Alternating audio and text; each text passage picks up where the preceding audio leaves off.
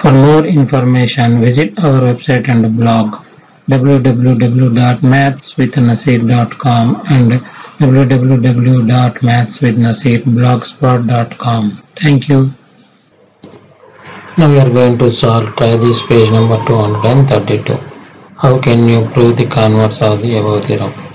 The converse of above theorem is if a line in the plane of a circle is perpendicular to the radius at its end point on the circle then the line is tangent to the circle. First we draw a circle with center O. A T is a line whose endpoint A is perpendicular to the radius OA. So given a circle with the center O, a point A on the circle and a line AT is perpendicular to OA. Construction. Suppose AT is not a tangent then AT produced either way if necessary will meet the circle again. Let it do so at point P join OP.